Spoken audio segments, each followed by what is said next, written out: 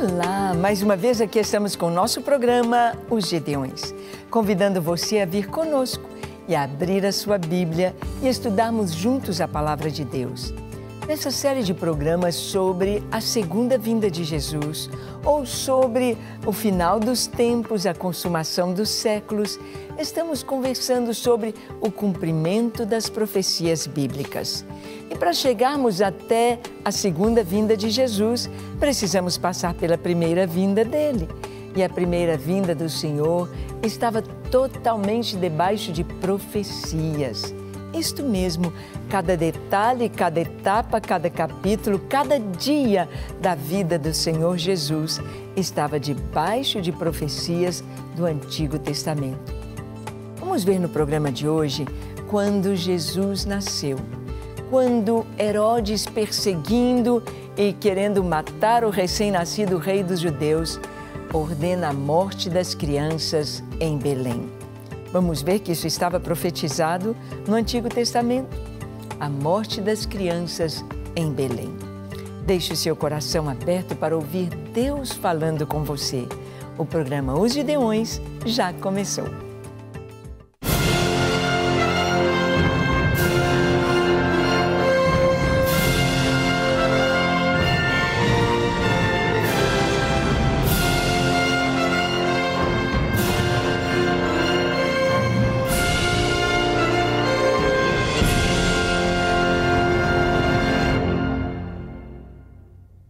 Muito bem. Nós sabemos que o Antigo Testamento está recheado de profecias. Começando lá no Gênesis, no capítulo 3, no versículo 15, já estava profetizado a respeito de Jesus, do Messias que Deus enviaria ao mundo.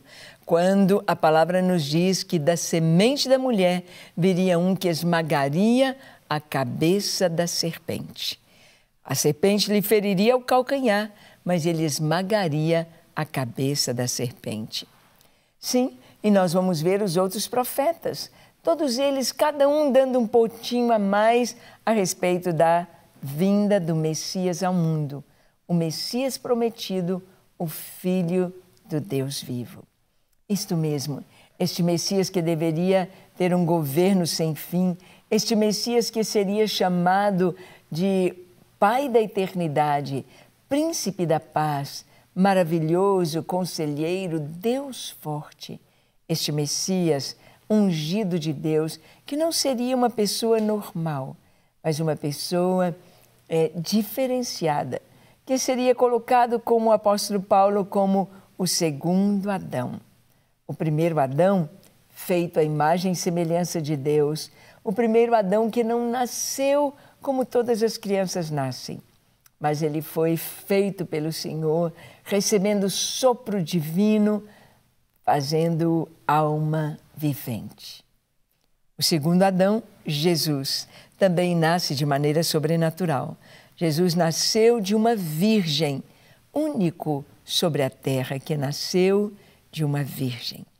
Então, vamos ver aqui outras profecias nos falando a respeito de Jesus. Seu nascimento foi tão maravilhoso, anjos cantaram, apareceu no céu uma estrela, os magos vieram do Oriente. E nós vamos ver que ah, o inferno, ou seja, as trevas, não estavam satisfeitas com a vinda do Messias. Então há uma tentativa de matar Jesus. Em Jeremias capítulo 31, versículo 15, nós lemos uma profecia sobre Messias. Diz assim: Assim diz o Senhor: ouviu-se um clamor em Ramá, pranto e grande lamento. Era Raquel chorando por seus filhos e inconsolável por causa deles, porque já não existem. Jeremias 31 nos mostra: ouviu-se um choro ouviu-se um clamor em Ramá. Nós sabemos que Raquel é a esposa amada de Jacó, veio com seu esposo, sua irmã e com a descendência, sua serva, a descendência de Jacó, vieram desde lá de Padã Arã, onde moravam, vindo ao encontro de Isaac em Bercheva, vieram pelo caminho que Jacó havia subido antes, pelo mesmo caminho que Jacó havia ido para chegar a Padã Aram. E Raquel estava grávida de Benjamim. E ela então dá luz a Benjamim, mas ela não suporta, no parto, ela vem a falecer. E Raquel foi sepultada ali em Belém. Há ali o túmulo de Raquel, ao lugar onde ela foi sepultada. Até o dia de hoje ali está a marca, o túmulo de Raquel. E o profeta Jeremias anunciou dizendo que ouviu-se um clamor em Ramá, ouviu-se voz de pranto e de grande lamento. Era Raquel chorando por seus filhos que já não existem. Exatamente quando Jesus nasceu.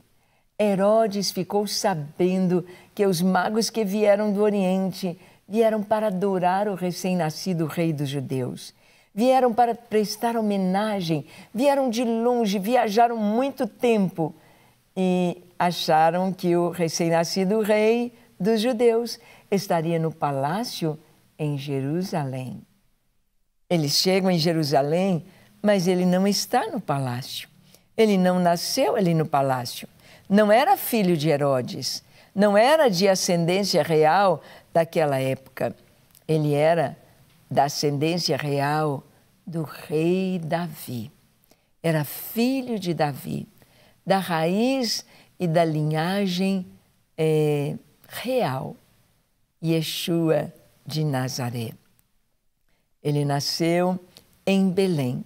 No dia que seus pais, no dia que José e Maria chegaram a Belém, Jesus, ele é fruto de um milagre Jesus, ele nasceu de uma virgem ali em Belém da Judéia. E os magos então ficaram sabendo pelos estudiosos da palavra que o Messias nasceria em Belém da Judéia. E eles foram para lá e encontraram o menino, porque a estrela que eles tinham visto no Oriente brilhou novamente e mostrou o lugar onde estava o menino. Isto é sobrenatural é Deus agindo. Deus agindo em favor da história, Deus agindo para o cumprimento das profecias. Mas o que significa isso de Raquel chorando por seus filhos? Abra sua Bíblia em Mateus capítulo 2. Nós vamos ler do versículo 2, nós vamos ler o que aconteceu no, né, quando o Senhor Jesus nasceu. Lemos assim. Vendo-se iludido pelos magos, enfureceu-se Herodes grandemente e mandou matar todos os meninos de Belém e todos os, em todos os seus arredores, de dois anos para baixo, conforme o tempo do qual com precisão se informara dos magos. Então se cumpriu o que fora dito por intermédio do profeta Jeremias. Ouviu-se um clamor em Ramá, pranto, choro e grande lamento.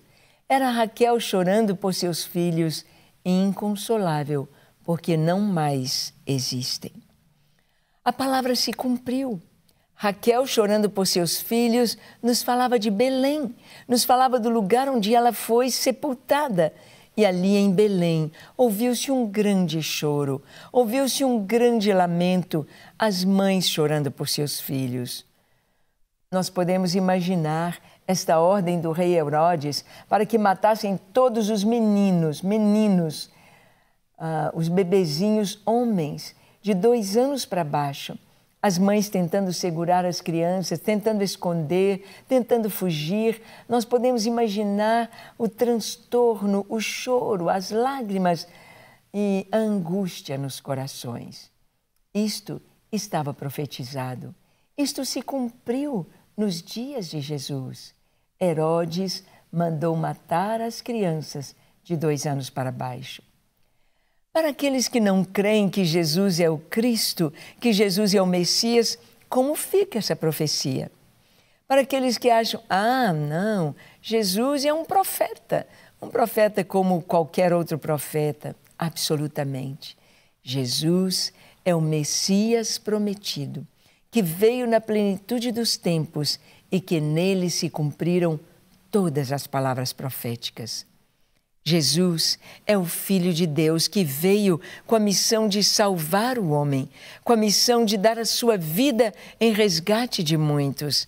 Ele é o Filho de Deus, o Messias prometido, ungido de Deus. E todas as profecias a respeito do Messias se cumprem em Jesus na sua primeira vinda. Ficaram para a segunda vinda as profecias concernentes ao reino do Senhor ao governo do Senhor, ao poder do Senhor, ao seu reino de justiça. Jesus é o Filho de Deus. Jesus, Yeshua de Nazaré. Não tem jeito de tentar forçar acontecerem as profecias na vida de Jesus. Como é que ia poder forçar acontecer esse choro em Ramá? Como poderia ser, ter sido planejado que Herodes mandasse matar as crianças e as mães chorassem? Não tem jeito. Isto foi profetizado, porque para Deus não há presente, passado, futuro, para Deus tudo é presente. Para Deus, o dia de amanhã, para Ele, Ele já é, Ele já vê. Daqui 100 anos, Deus sabe como estará a terra, Deus sabe como nós estaremos. Para Deus, o futuro está diante dos seus olhos. Então, em Jesus se cumpriram todas as palavras proféticas. Ele é realmente o Messias prometido, o Filho de Deus. E você, já o conhece? Você crê em Jesus como Senhor e Salvador? Vamos orar? Feche seus olhos, curve sua fronte, ore comigo dizendo assim: Senhor, eu creio em Jesus. Eu creio que Jesus é o Cristo, o Filho do Deus vivo. Eu creio que nele se cumpriram todas as profecias.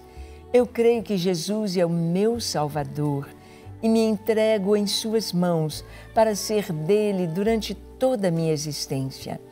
Eu me entrego em Suas mãos, Senhor, com tudo que sou, com tudo que tenho, que a tua graça que a tua palavra, que a tua presença possam encher a minha vida da tua paz e do teu amor.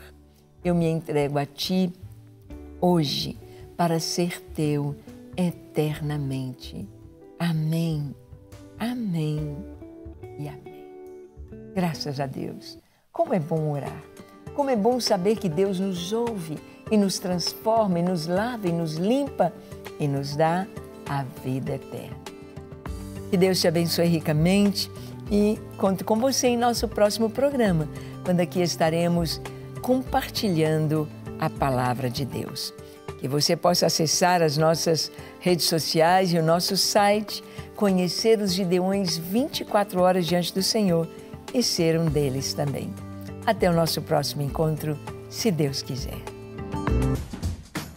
Não quer ficar um segundo por fora da nossa programação? Agora você pode nos acompanhar através das plataformas digitais. Não perca tempo. Acesse, curta e siga-nos. Fique por dentro de tudo o que acontece por aqui. Rede Super, inspirando você.